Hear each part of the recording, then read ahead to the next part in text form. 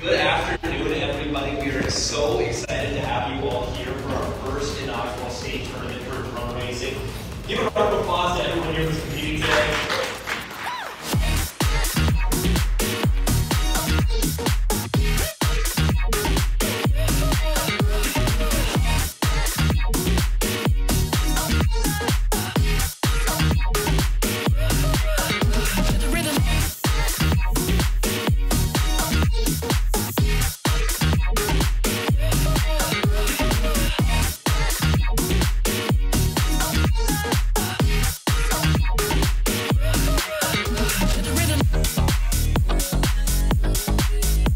honestly, in five years, I could see this being a national tournament.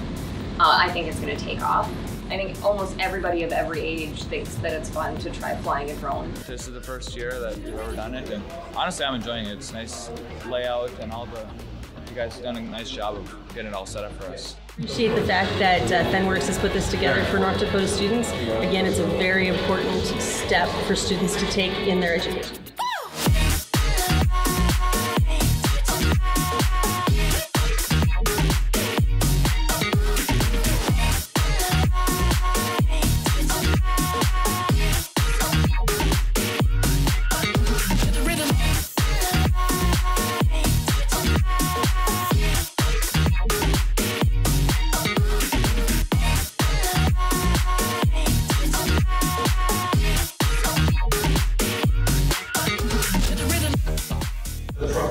Professionalism that we saw from all the students here in the room was beyond our expectations.